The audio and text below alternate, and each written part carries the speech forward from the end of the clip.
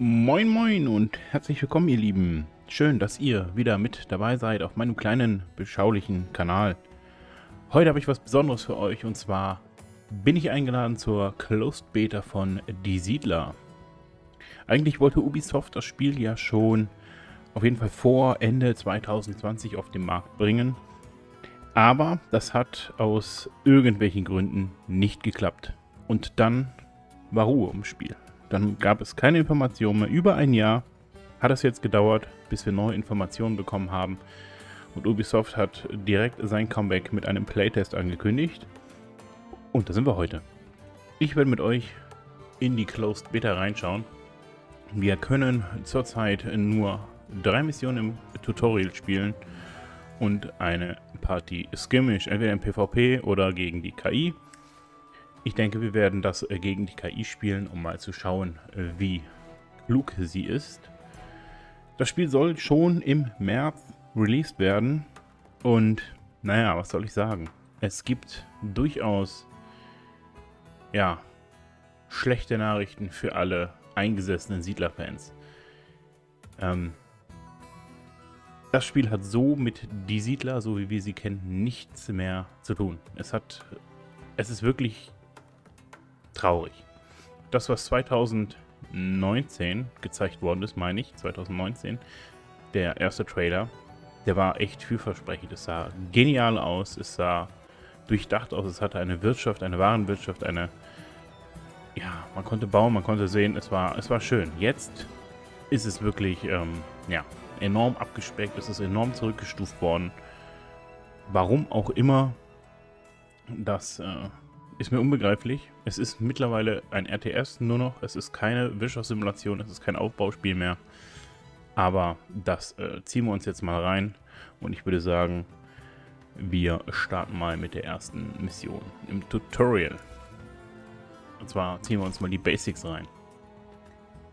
Klar, jeder sollte wissen, wie man äh, die Siedler spielt. Also, ne, die, die die Siedler kennen.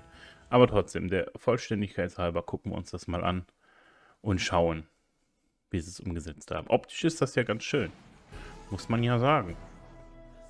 So back to what I was saying.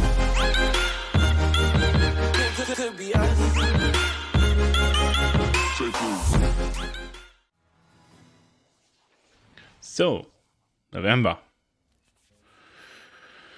Ja, wir brauchen Holz, wir brauchen eine Sägemühle. Bauen wir das. Und zwar, wir sollen hier... Guck mal, das baut schon von alleine. Finde ich gut, oder? Ja. Ja, das ist zum Beispiel eine Neuerung, die, wo auch immer sie sind, Ingeniera, die, die, die, die, ja, Pioniere, wie sie früher halt hießen, bauen jetzt Straßen, bauen jetzt Gebäude, erweitern das Gelände alles mit dieser einen Einheit. Ich weiß nicht, ja, wie ich das äh, finden soll, ob das Sinn macht, ob das nicht Sinn macht, das, äh, ja, müsst ihr selbst beurteilen. Ich finde es absolut Schwachsinn. Pioniere waren für mich diejenigen, die hier diese Grenzsteine versetzt haben und ja, Baumeister sind halt Baumeister und nicht alles in einer Einheit. Außerdem verinnerlichen die auch noch die Geologen. Also mit denen können da auch noch Rohstoffe finden. Ja. Hm, warum? Ist halt so die Frage. So, wir müssen eine Straße ziehen. Das kennen wir auch. Mal so, dann schließt die alles an. Seht ihr, das machen wieder diese Truppen. Ich weiß nicht. Das ist zum Beispiel schon eine Neuerung, die, die ist, ist mir unbegreiflich. Warum?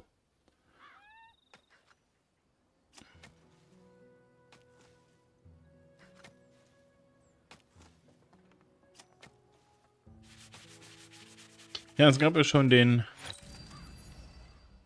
Machen wir gleich. Okay, with transport them, all you need is connect to the road. Haben wir.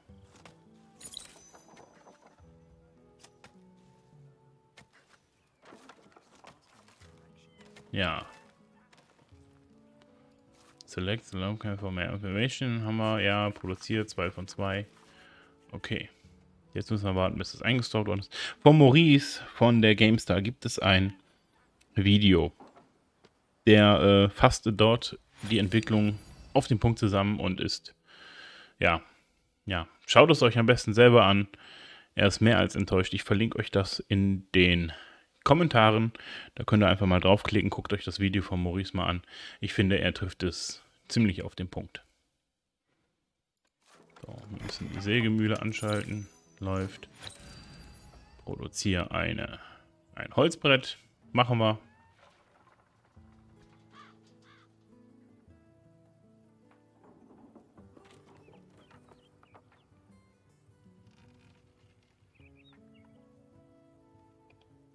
Tja. Aber ein Urteil fällen wir uns, nachdem wir hier mal alles angetestet haben. Ich weiß nicht, ob wir zwei oder drei Folgen daraus machen. Ich muss mal gucken, wie lange das hier so geht. Wie schnell wir hier durch die Tutorials kommen. Ähm, vielleicht reduziere ich das auf zwei Folgen. Ich weiß halt nicht genau, wie viel ähm, Inhalt die Beta hier hat. 17. März ist Release-Termin. Ich bin gespannt. So, das war's. Congratulations. Ja, wir haben Holz gefällt, wir haben ein Holzbrett hergestellt. Es ist jetzt bereit für neue Konstruktionen. Aber nicht hier, das ist schon fertig. Wahnsinn, wir haben tatsächlich eine, ein, einen wahren Weg gelernt. Jetzt kommt zuerst der Kampf und dann die Produktion, finde ich auch sehr spannend. Das zeigt doch auch schon mal, in welche Richtung es geht, wo der Schwerpunkt ist. Nämlich auf dem Kampf. Ist leider so. Combat. Okay, wir müssen... Lala. Komm,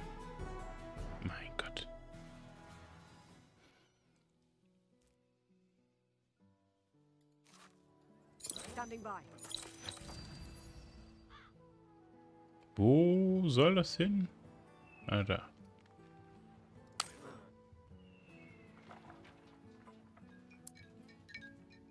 Können wir gruppieren mit Steuerung. Zahlentaste. Könnt ihr eine Gruppe zuordnen hier oben. Also mit den markierten Figürchen. Greifen wir mal an. Schauen wir mal. Zack, zack, zack, zack. Enemies attacked. Da können wir mit der Leertaste dann hinspringen. Ist vielleicht gar nicht schlecht, ist halt nur etwas unübersichtlich bzw. problematisch, wenn wir von vielen Seiten angegriffen werden. Äh, Ritual Spell, Help, Outpost, Healing Spell. Okay. Find the Enemy. Da ist unser Heiler. Mit Y und anklicken. Wäre natürlich geil, wenn er einen AOE-Schaden macht, aber so müssen wir halt jeden einzelnen anklicken. Fügen wir ihn hinzu. Schwupp. Ja, da geht es nämlich schon los.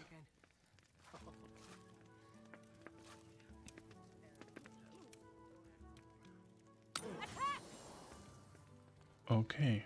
Attack the buildings. Welche Buildings? Hier oben.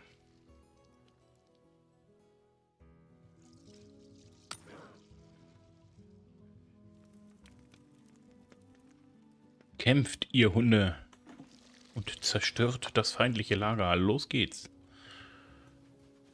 Oh, die sind erstmal Gegner. Machen wir die mal zuerst platt. Nee.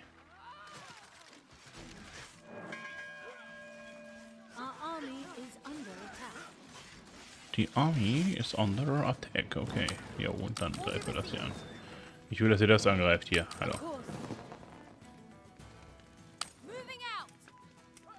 In sight.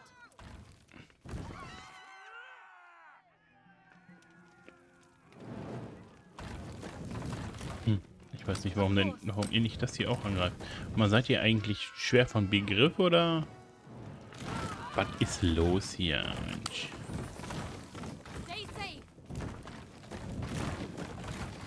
Ja, greift mal alles durcheinander an. Auch eine gute Idee.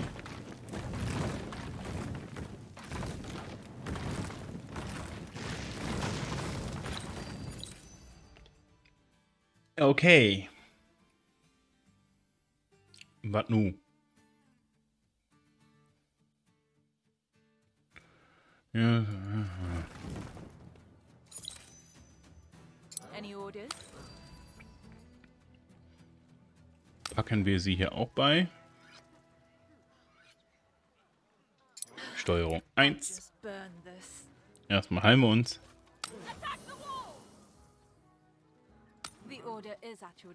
Und dann greifen wir weiter an. Destroy the warehouse. Womit fangen wir an? Gehen wir direkt da drauf, oder? Ist ja ein Tutorial. Sollte ja wohl gehen. Das tut schon weh, er hier, muss ich sagen.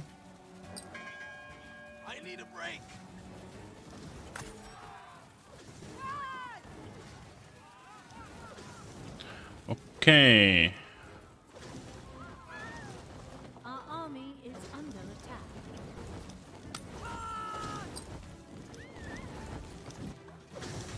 Das äh, haut schon ordentlich rein. Was sind das eigentlich? Ochsen, die was verschießen? Nee, ist klar. Irgendwelche Pseudo-Spell-Raketen oder was?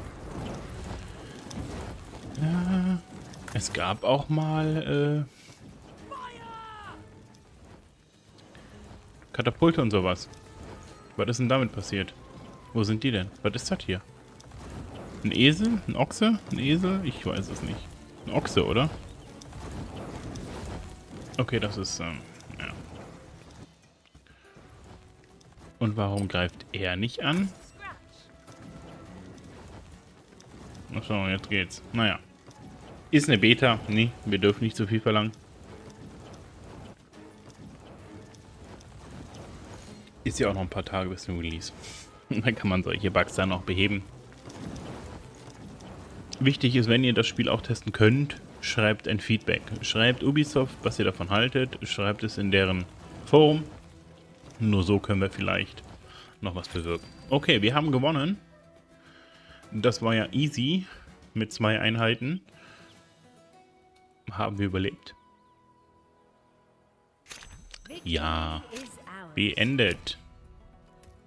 Und die Produktion, das, worum es sich ja eigentlich dreht in die Siedler. Jetzt bin ich ja mal gespannt, ob das jetzt mal umfangreicher ist. Wir starten an derselben Stelle. Haben die Ilari als Volk. Es wird wohl drei spielbare Völker geben. Ähm ja, aber da erzähle ich jetzt noch nicht zu viel für. Ich will ja auch nicht spoilern. Missing line. Select the warehouse. This what resources stored there. Okay, wir haben Planken. Wir haben natürlich keinen Stein.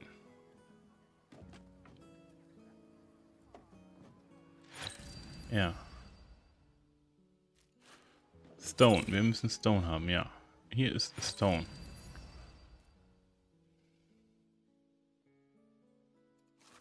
Building ist. Müssen wir abreißen. Tun wir das. Mein Gott. Ja, bauen Steingedöns. Ja, was mit der Straße, das wissen wir alles. Hatten wir ja im ersten Tutorial schon. Center Engineer to Build. So, was ist? Bau hier, bau da. Kann man automatisch klicken, dann laufen die zur nächsten Baustelle. Und bauen automatisch. Leider ist das nicht von vornherein eingestellt, was ich schade finde. Es macht mehr Sinn, es von vornherein auf Autobild stehen zu haben oder die, die ähm, Engineer und bei Bedarf eben abzuwählen, aber so vergisst man das und wundert sich, warum die Gebäude, Gebäude nicht gebaut werden und dann stehen die da doof rum, weil sie eben nicht automatisch so eingestellt sind.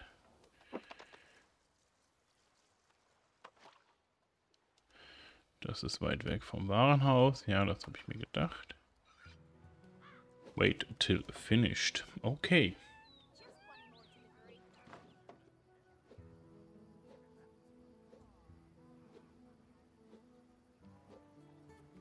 Ich habe noch keine Möglichkeit gesehen, das irgendwie zeitlich, also die Zeit zu beschleunigen. Ich weiß gar nicht, ob das geplant ist. Ähm, Oder nicht. Enemy halt, da oben ist ein Feind, okay. Das war's. Okay, wir haben das Produktionstutorial, ja, in 2 Minuten 16 geschafft.